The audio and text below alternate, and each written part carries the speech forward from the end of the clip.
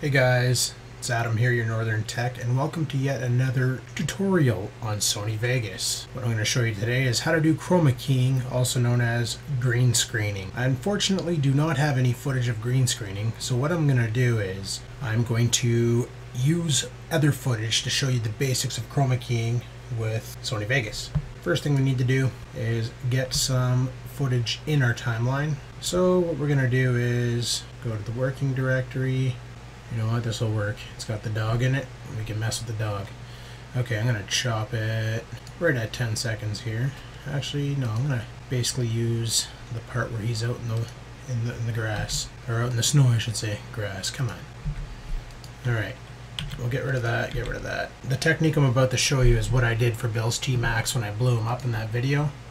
He likes to romp in heavy snowbanks. See how he's romping over there? And eat ice. Playing around Loves and ice. stuff. Okay, so what we're gonna do is we need to bring in a special effect. Now these special effects you can get at Detonations Film or Detonation Films. Uh, they're free. These ones are free. They have a little marquee in them. But um, basically, uh, what we're gonna do is we're gonna drag in Grenade. So you drag it above your video so that it sits on the overlay. Now the thing is with these is it has detonation film at the beginning. You just scan ahead a little bit. And then it'll go away you hit split to copy it or to cut it delete the beginning part and there it is. Now where are we going to blow up the dog? Perfect right when he jumps. So we're going to bring it right here. Now right now it's over masking the film right? You go to this little ribbon thing click on it brings up your list. Sony chroma keyer is what you want. So double click adds it up here to the main ribbon. You click OK. And now you can sort of see through it right well, we'll just make this a little bit bigger. Now you have your low threshold, your high threshold, and your blur amount.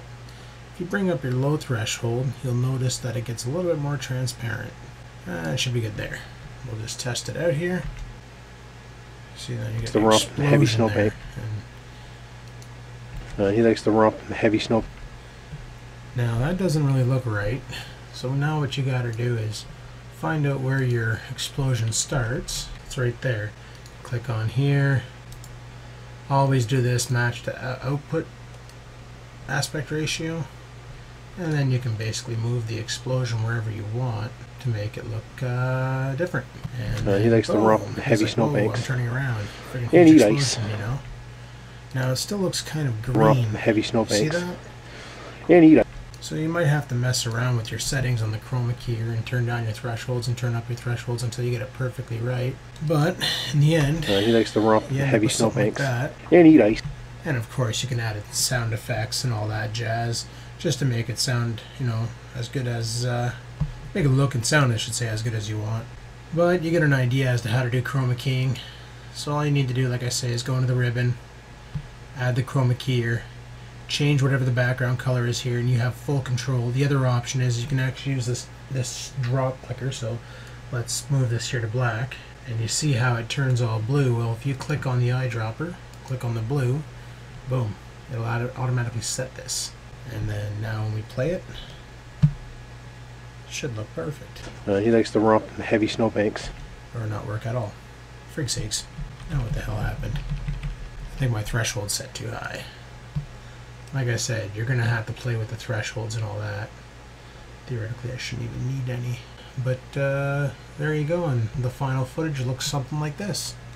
He likes to romp in heavy snowbanks. And eat ice. He's such a fluffy puppy. Yeah. And well, I hope you guys enjoyed that uh, tutorial on chroma keying and Sony Vegas. Like I say, if you have a green screen, you can do it. Oh, you put yourself on a green screen and then put yourself in Hawaii or whatever, or like I did on my old channel in the Star Trek uh, Star Trek Enterprise. You know, you can do whatever you want. So green screening, it's fun, and now you know how to do it in Sony Vegas. All right, guys, take care.